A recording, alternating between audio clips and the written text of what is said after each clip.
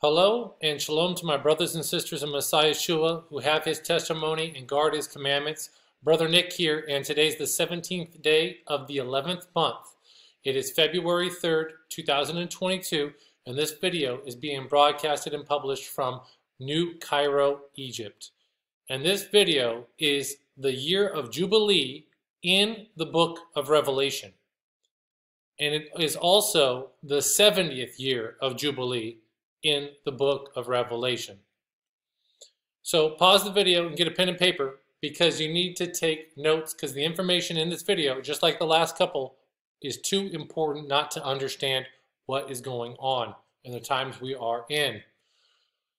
So in my previous two videos, I actually restored the Jubilee count based on Ezekiel chapter 40, verse 1, which is the key verse that unlocks the Jubilee count because it anchors the Jubilee year to 14 years after the Babylonian destruction of Jerusalem, which historians date around 587 BC or 586 BC. The scholars are almost 50-50 on what year it is.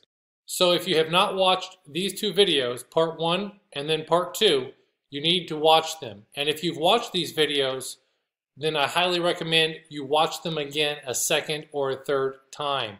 It's too important to not understand this new information as it comes out. In these videos, I explain that Daniel's prophecy of Daniel 9.24 is to be 70 jubilees of the real Israelites and not 70 weeks. So what you're looking at is the correct interpretation of Daniel 9.24. 70 jubilees, not 70 weeks, are determined upon thy people and upon thy holy city to do what? To finish the transgression, to make an end of sins, to make atonement for iniquity, to bring in everlasting righteousness, to seal up the vision and prophecy, and to anoint the most holy. So as you can see here, to make atonement, atonement is made on the day of atonement, and it's not 70 weeks, but 70 jubilees. And on the year of jubilee, that's when the Jubilee trump is sounded, and this is when atonement is going to be made for all Israel and when the first resurrection is going to happen. I also explained in these videos that when Messiah Yeshua said in Matthew chapter 18 verses 22 to 23, he said to Peter to forgive 70 times 7, as all the English translations have it as 7, it is really 70 times jubilees, 70 jubilees. And it is the same 70 jubilees that Daniel prophesied of in Daniel chapter 9 verse 24 that I just went over there with you. So look, watch these videos because I explain how to interpret the word Shabuim as seven as a jubilee. So it's speaking of 70 jubilees. So watch these two videos. Understanding this is the keys to the kingdom of heaven. And as I've explained, the keys to the kingdom of heaven is knowing when the kingdom of heaven is going to come to earth. We should all understand this because Master Messiah Yeshua taught us how to pray. Our Father who art in heaven, hallowed be thy name. Thy kingdom come, thy will be done on earth as it is in heaven. So what we are praying in that first part of that prayer is to pray for his kingdom to come. To come where? To come from heaven to earth. Because uh, we're praying for his will to be done here on earth as it is in heaven. So we're praying for his kingdom to come. It's the kingdom of Eloah, the kingdom of heaven coming to earth. You need to know when it's going to be and when it's going to happen and what's going to happen. That's going to be the first resurrection. And it's going to happen on a 70th Jubilee for real Israel. So you need to watch these two videos or and watch them again and take notes and test what I'm sharing with you. As I said, the 70th Jubilee is going to be when the redemption of Israel is going to happen. All Israel is going to be saved. Whoever made it through the tribulation is going to be saved. And whoever died during the tribulation is going to be resurrected. Then the rapture is going to happen upon that. Now, I do believe possibly, I understand that there could be and is likely an escape from all these things that are coming come on the face of the earth. But that is not the rapture resurrection. The rapture, rapture resurrection event is going to happen on the on the last trump, and it's the trump of Jubilee, as I've been explaining throughout this series and in other past videos. And it's going to be the first resurrection of all the righteous saints and the body of Messiah. That's when it's going to happen, on the 70th Jubilee. So hallelujah. And because scholars are unsure and uncertain of the year when the Babylonians destroyed the temple and Jerusalem, either 587 and 586 BC, of those two dates, I provided two years for when the next Jubilee is going to be, which is also the 70th Jubilee. As I said in those videos, I narrowed it down to two possible years for the next Jubilee, year of Jubilee, which is also the 70th year of Jubilee from when the Israelites entered into the promised land. And based on these two dates of the destruction of Jerusalem, this is when the next and 70th Jubilee is going to be. I said either Yom Kippur 2024 or Yom Kippur 2025. And as I said in my previous video, this one right here, I narrowed down the next and 70th Jubilee to two possible years. But I also provided two end time tribulation scenarios as I will now replay the clip of that section in the video right now. I'm going to re replay that video clip because I just recently identified the year of Jubilee in the book of Revelation, which I will share the location and based on the location of the Jubilee year in the book of Revelation, I can now eliminate one of the two possible years of Jubilee based on the end time scenario and refine it to one. And I say this with certainty if our Gregorian year 2022 and Julian year 2775 be correct. So here is the clip. So as I said, of the only two possible years for the next and 70th Jubilee, these two, okay, there's only a couple of scenarios that possibly can happen. So again, we are right here. This is 2022, it's what, January 23rd, so we're like right here. And of this scenario of a 2024, fall right here, 2025, based on a 587 BC destruction of Jerusalem, there's not a lot of time, there's not three and a half years, there's less than three years until the 70th Jubilee. So you can't even fit, not let alone a seven-year period, you can't even get a three and a half year period in in this time period, three and a half year tribulation, prior to making an end of sin and bringing everlasting righteousness and sealing up the vision and anointing the most holy. Under this time period of a 2024 2025 Jubilee scenario, there's not enough time for the 1,260 days, which is 42 months, which is also three and a half years, to happen.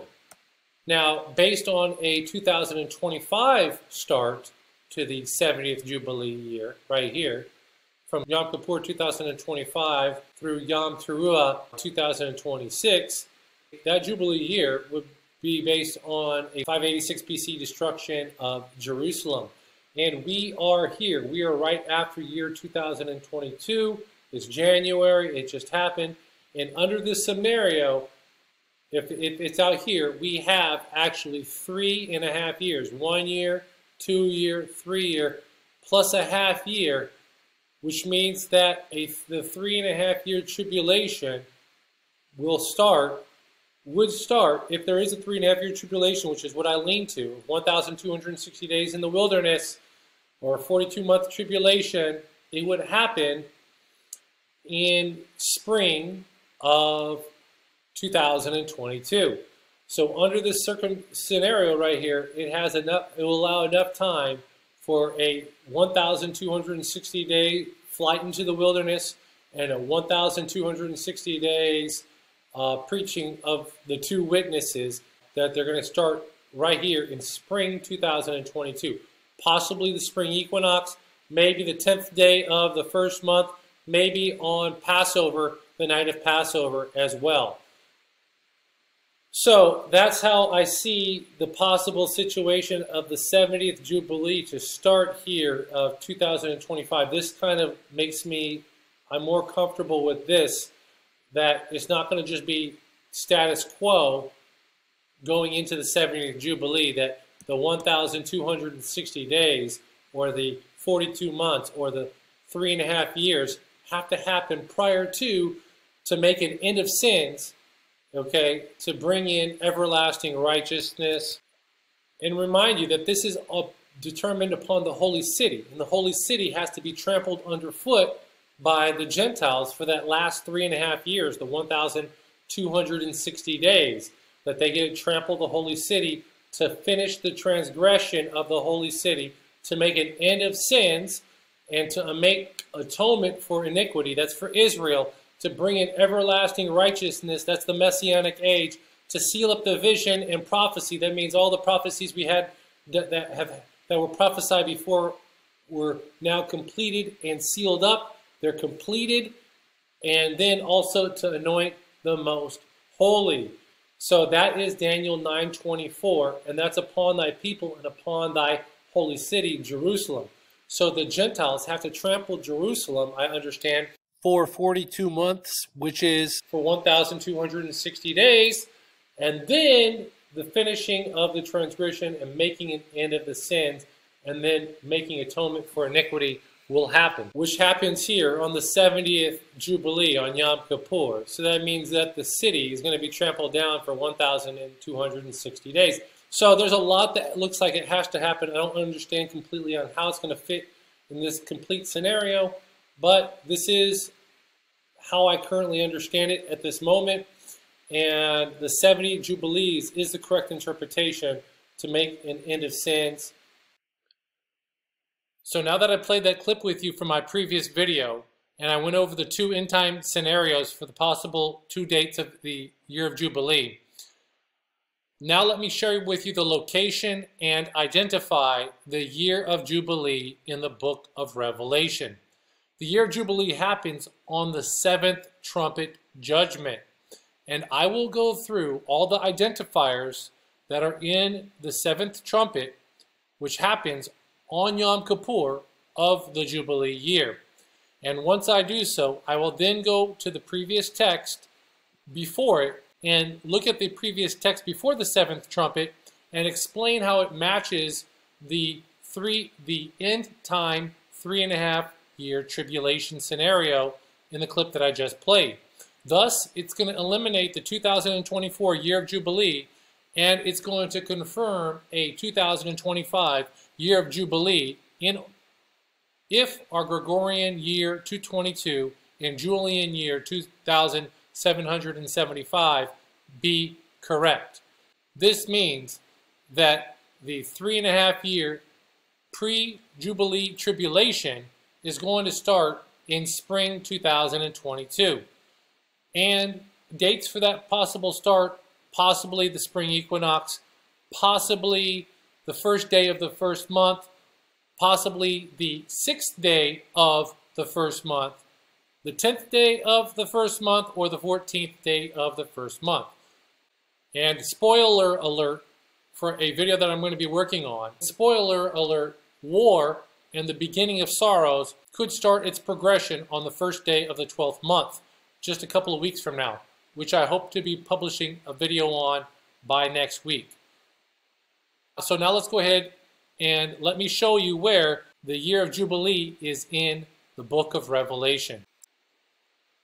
So here I am in the book of Revelation, chapter 11, KJV version, for the sake of doing this presentation because it has the Greek concordance if we need it. The seventh trumpet. I'm at the verse 15, which is the seventh trumpet.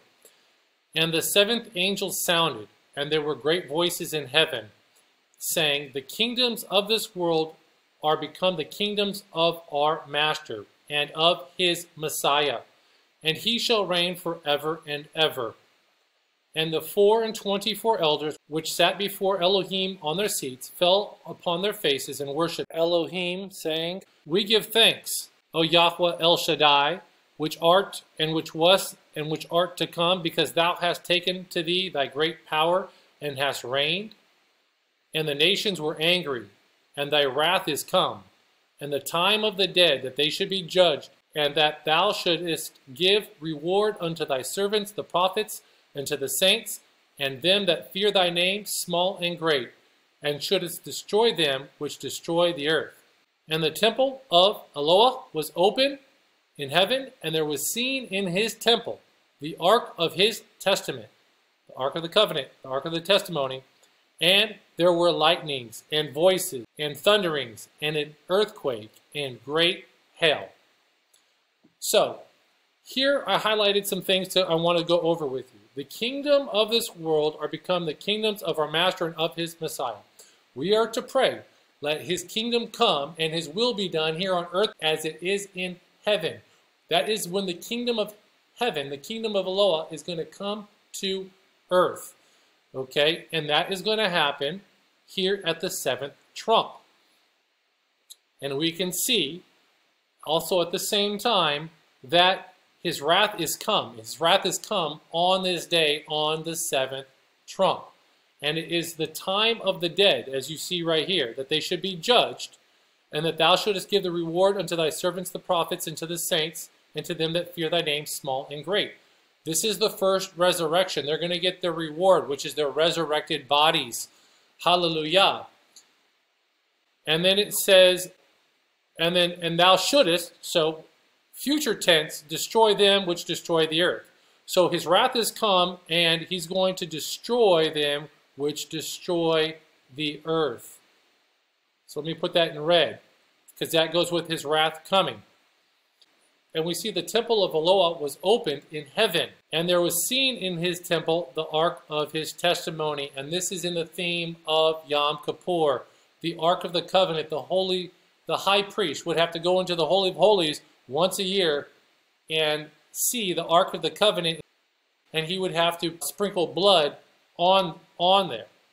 And when it was open, heaven is open, the holy place, he goes into the Holy of Holies, where the temple of the ark in his testament is was seen, and there were lightnings and voices and thunderings, and an earthquake and great hail. So after that, we see this great hail, and this great hail should probably be read because it has to do with the coming, with the wrath that is now happening at this stage of the seventh trumpet. We will all agree that this right here is a type of Yom Kippur, right, right here of the temple and the ark of his testament being seen in heaven. Now there's more to this that I'll go ahead and share upon. So here I am in Revelation 15. It appears that that wrath at the time of the seventh trumpet is going to be the seven plagues from the seven bowl and vial judgments. Revelation 15 verse 5. And after that I looked, and behold, the temple of the tabernacle of the testimony in heaven was opened. So that matches just what we read in Revelation chapter 11. So the bowl judgments are picking up right at the seventh trumpet of chapter 11.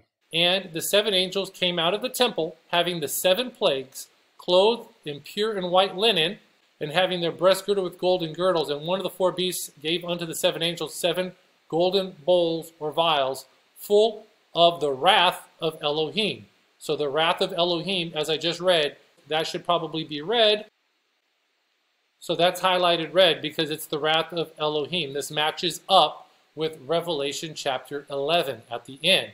Revelation chapter 11 verse 18, and the nations were angry, and thy wrath is come. So that matches, this theme also matches Revelation 15 of Elohim who liveth forever and ever. And the temple was filled with smoke from the glory of Elohim and from his power, and no man was able to enter into the temple till the seven plagues of the seven angels were fulfilled. So, they might be in heaven, but they're not in the temple in heaven. Okay? And so, what is interesting regarding this, as I shared with you, uh, smoke in the temple where the ark is seen in Revelation chapter 11, smoke in that area is what we see that the high priest has to do on Yom Kippur. He has to offer incense and smoke. So this is another indicator that the seventh trumpet and these bowl judgments are happening on Yom Kippur. And on Yom Kippur is when the Jubilee horn is blown, which is the trumpet. So that's another theme. But going back, we see the wrath of Elohim. So this matches with Revelation chapter 11. So as I just shared, in the seventh trumpet, the wrath is come. And as I just read in Revelation 15, that the seven vials or the seven bowls that the angels pour out on the earth is the wrath of Elohim. And we see great hail right here. And here I am in Revelation 11, and this last verse, verse 19, is very interesting.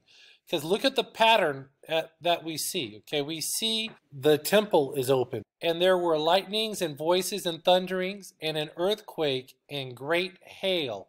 So I highlighted it orange, then purple, and then red for the hail. So orange for the lightnings, voices, thunderings, and then I highlighted it purple for an earthquake, and I highlighted it red for great hail.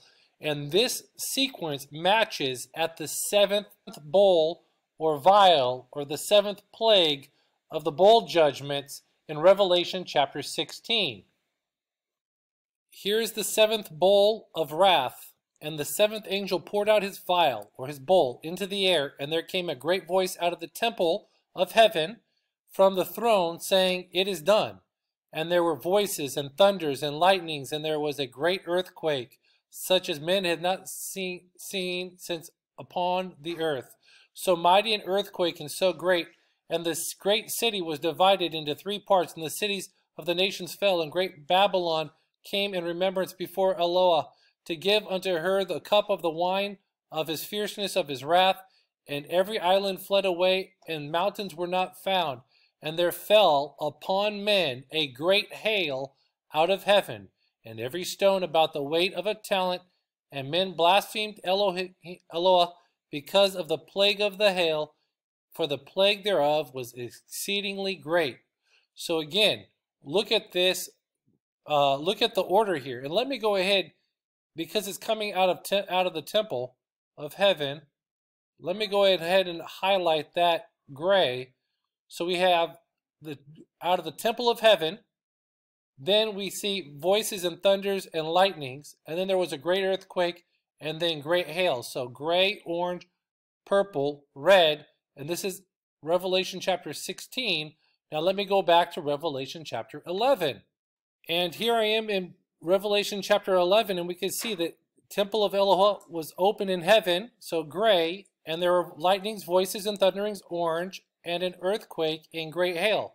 So this seventh trumpet matches up with the seventh bowl.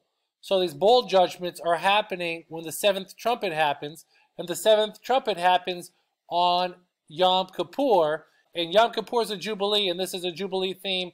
And in three and a half years from now is going to be the 70th jubilee at, per Daniel 9:24 and Matthew 18:22 to 23. I've established some themes of Yom Kippur here at the seventh trump and also at the beginning of the wrath.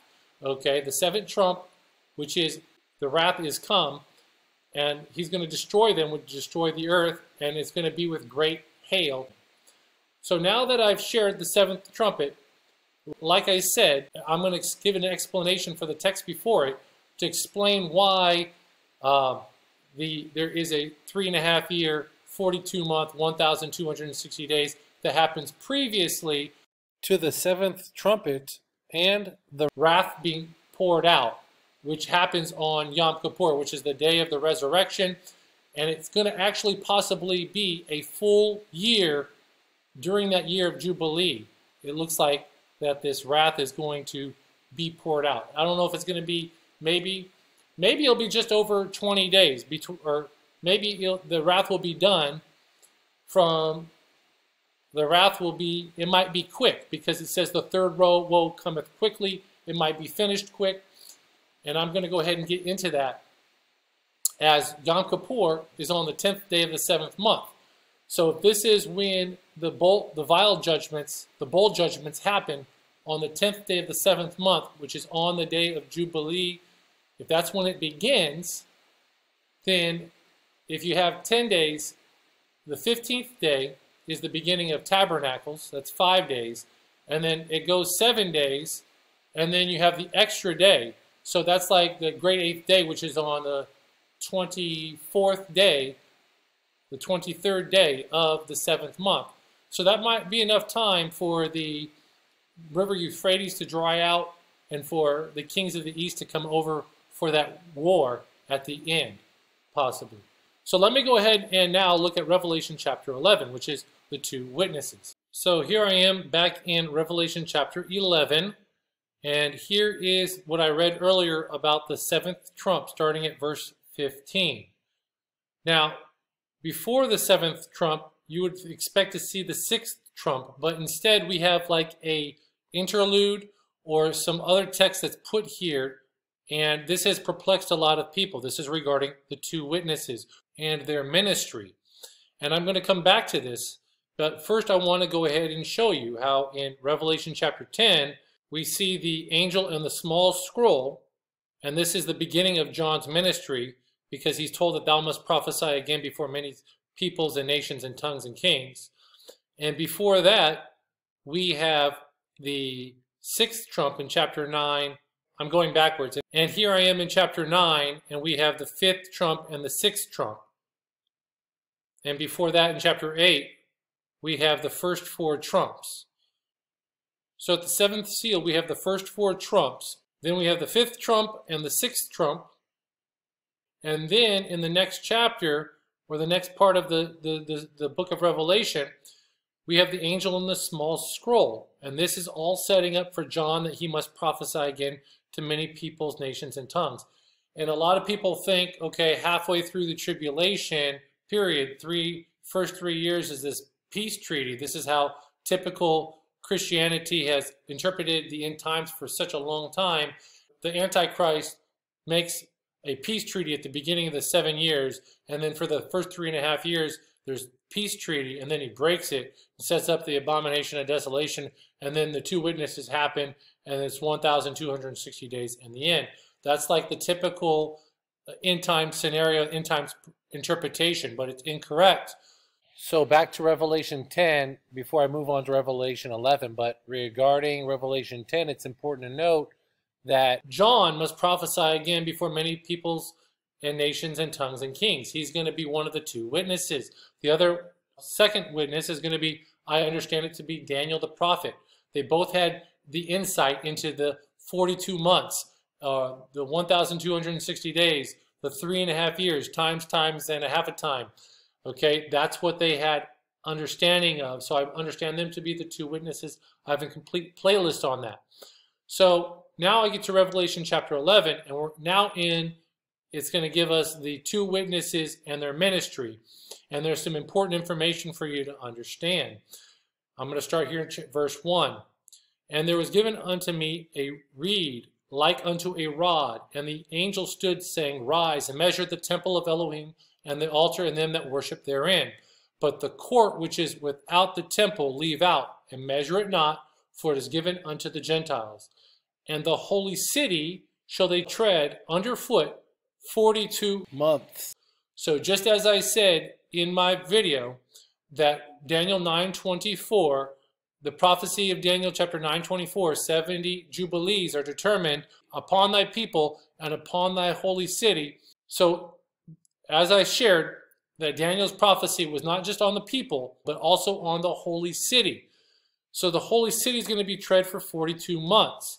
So given Daniel 9.24, the 42 months has to happen before the 70th Jubilee of Yom Kippur.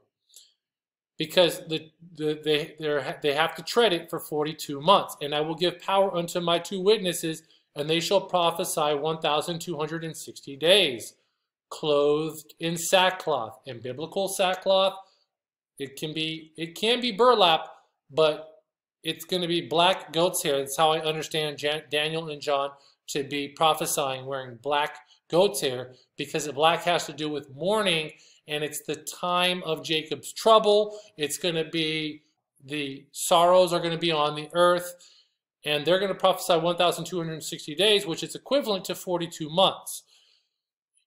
And these are the two olive trees and the two candlesticks standing before the Eloah of the earth.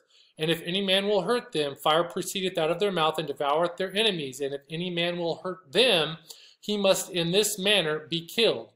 These have power to shut heaven that it rain not in the days of their prophecy, and have power over waters to turn them to blood, and to smite the earth with all plagues as often as they will.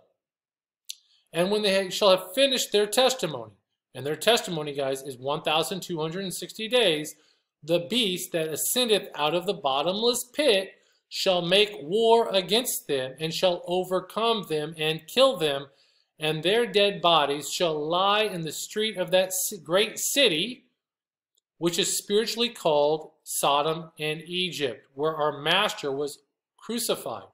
So I share with you guys the location where I believe in Jerusalem where their bodies are going to be in a video from a couple of years ago. But what I want to say is, is that they're prophesying in the holy city, in Jerusalem, the great city. And what is going to happen is the beast is going to kill them and make war with them. So for that to happen, that means that the city is still being tread underfoot for their 42 months.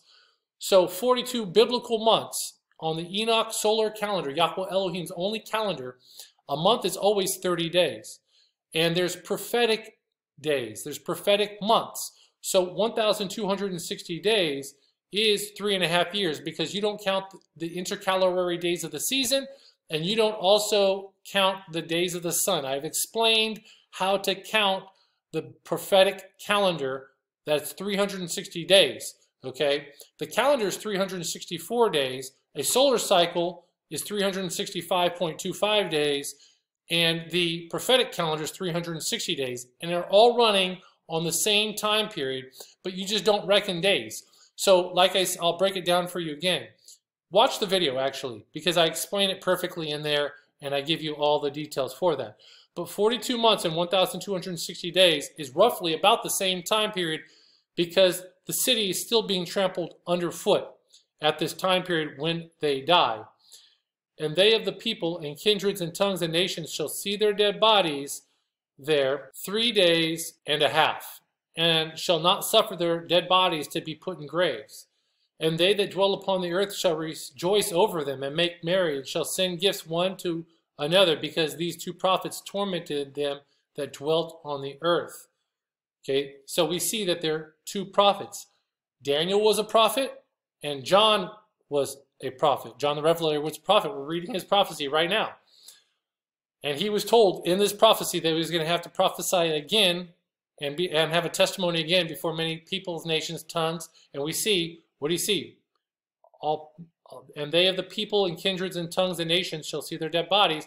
And again, in Revelation chapter 10, John was said he must prophesy again before many peoples and nations and tongues and kings. What don't you get, guys? John the Revelator is one of the two witnesses.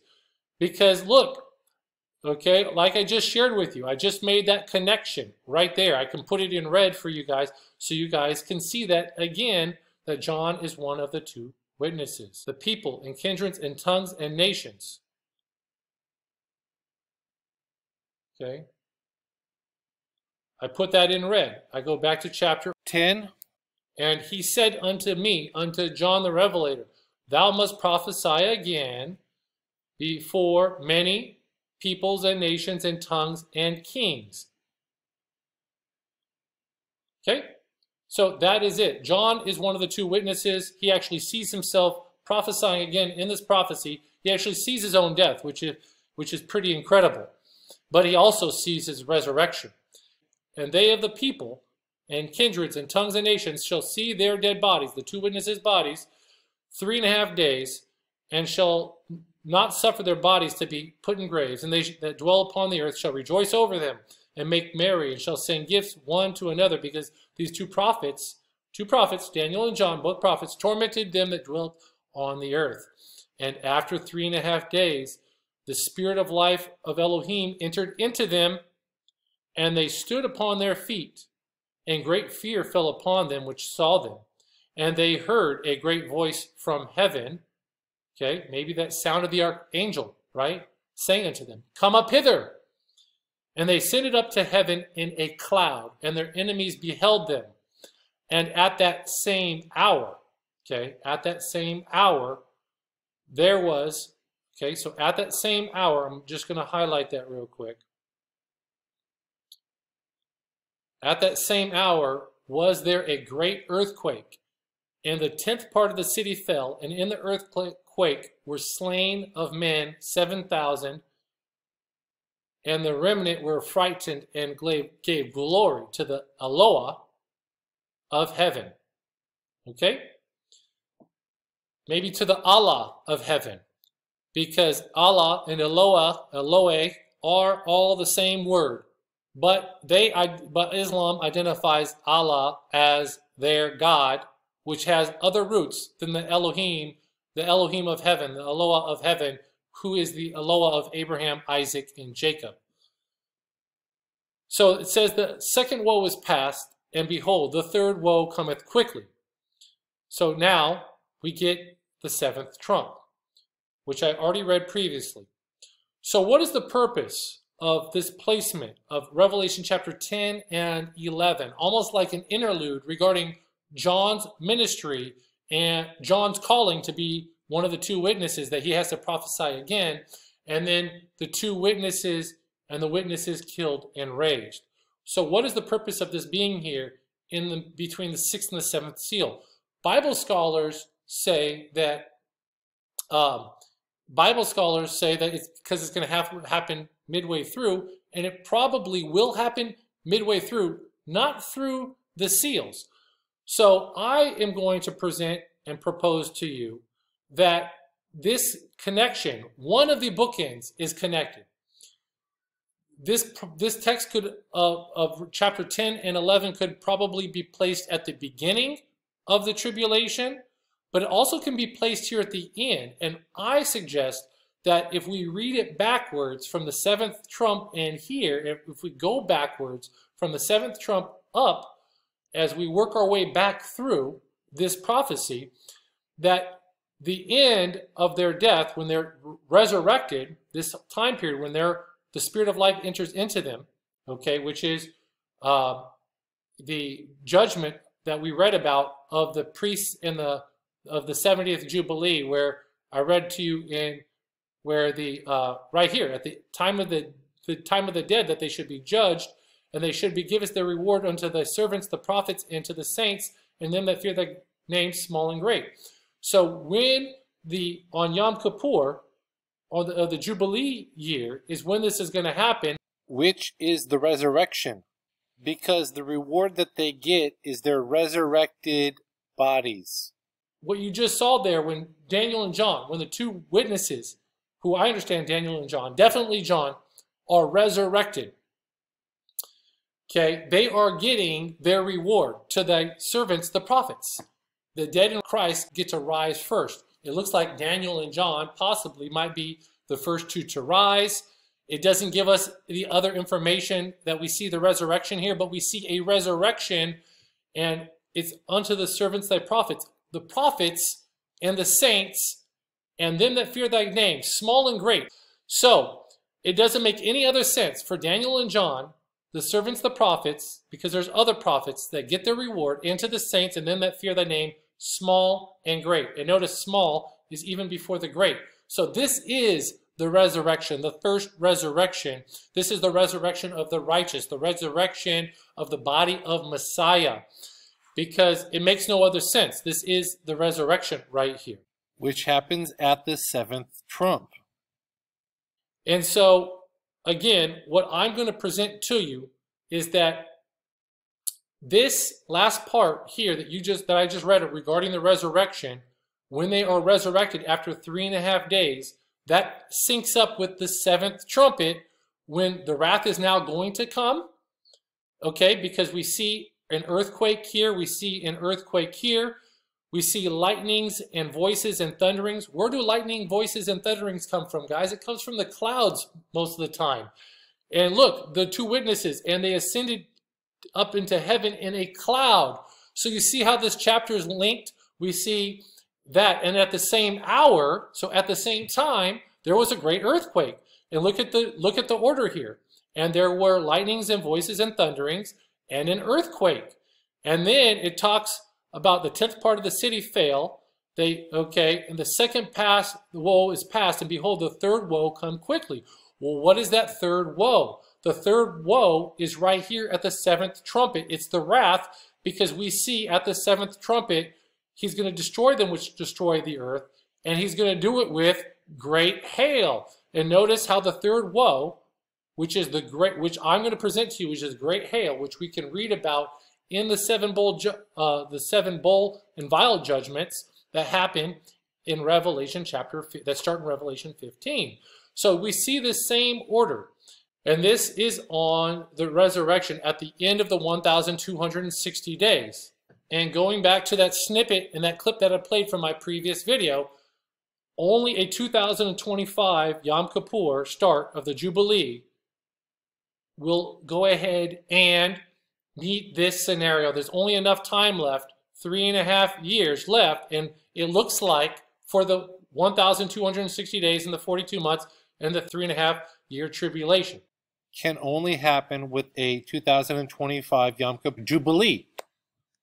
So this is the only scenario that can fit it. The other scenario of a 2024 Jubilee, Yom Kippur Jubilee, that doesn't fit because there's like less than three years left as I'm speaking now. But this one supports it. That the Jubilee happens here and then sometime thereafter. This is the year of recompense for Zion. The wrath, the bowl judgment is going to happen on the 70th Jubilee. I believe it's Isaiah chapter Isaiah chapter 63 verse 4. For the day of vengeance is in my heart, and the year of my redeemed is come. The redemption happens, just like I just shared with you at the seventh trumpet. That is when the vengeance, that's when the wrath is poured out. The seven bowls, the seven vials of wrath is poured out. And it's also the year of his redeemed has come. That is on the year of Jubilee when the redemption happens. And it's also going to be when the vengeance starts, which is the at the seventh trumpet, which is after three and a half years. Now that time period, it's going to, here it is right here, Isaiah 34 verse 8. For it is the day of Yahweh's vengeance, okay, and the year of recompenses for the controversy of Zion. So there's going to be controversy of Zion. It looks like it's that 42 months that the Gentiles are trampling Jerusalem down. And it's going to be the year of recompenses for Zion. So it looks like that's the Jubilee year of recompenses. So it looks like the seven vials, it could be just a couple of less than two weeks time to finalize and have it finish on the great eighth day, or it could go a whole year. I haven't gone that far in my studies.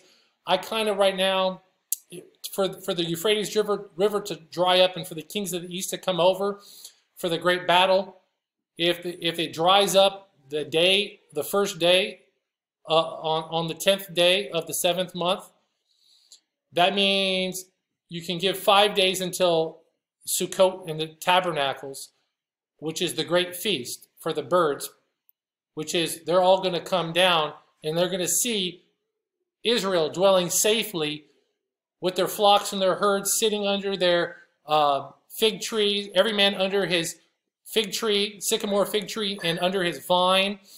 And then, so you're going to see restored Israel on the hills of, on, in Israel, and that's when they're going to come for the Ezekiel uh, 38 and 39 invasion at the end there. It possibly looks like, which means that if they can get everybody over within like 10 days, by the great eighth day, they can all be at the valley of Hammagiddo, which is east of the Sea of Galilee. And that's where that final battle looks like it's going to take place. So that should give them plenty of time to come over the for the kings of the east and everybody to assemble right there for the great battle because that's where it's going to be going to take place, which probably will happen on the great eighth day is my guess. So just a couple of weeks after this. But it might be a year. It might be a year, a year of recompense. It's the year of Jubilee for Zion. Another type of seven trumpets is we see that in Joshua of the Battle of Jericho. When they entered into the land, it was actually a Jubilee year of the complete Jubilee cycle. I've talked about that in the past, how the first year that they entered in the land was when it started. The first year of the 49 year cycle is actually the 50th year of the previous Jubilee cycle. So the first and the 50th year are the same year. They overlap. They overlap. And so when they that's when the Jubilee count started for Israel. And the next Jubilee coming up is going to be the 70th Jubilee. But when they when Joshua and the Israelites came into the promised land, the, one of the after they circumcised themselves and celebrated the Passover, their first battle was the Battle of Jericho. Seven days they circled it, and on the seventh day they circled it seven times. Seven times seven is a jubilee, and the priest blew the horn after they circled it seven times. Seven priests blew seven horns. And that horn, the word for horn is Yobel. The horn that they blew in Jericho in the Strongs is Yobel. Which is the same word for Jubilee. And the walls of Jericho came tumbling down. And that's what we're going to see on the 70th Jubilee.